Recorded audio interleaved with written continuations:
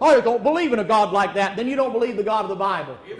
You better get on the right side of that thing. You better understand when you hit the judgment seat of Christ, you're dealing with a God that died for you, and there ain't going to be no games up there, and ain't going to be no, well, I just never seen you be like that. I've never seen this side of you. You better hide yourself from the wrath of the Lamb. You better hide yourself from the wrath of God. You better hide yourself from the wrath that He lets the devil have. You better get in Jesus Christ and thank God you're on that side, or you know what will happen to you? You will face the wrath of the Lamb. You will face the wrath of God, and you will will face the wrath of the devil.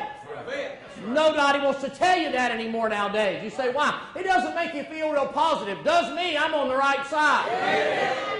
So you sound pretty arrogant. I got enough sense to know this. I'm not getting there by my own merit. I'm getting there because I trusted Jesus Christ. It's time some of you had some smelling salts jammed up your nose and you start to realize what God saved you from and you start to understand that if it wasn't for God Almighty, you'd be busting hell wide open. And here during the time of the tribulation. Yes, You'd be here in hell, and then after that into the lake of fire for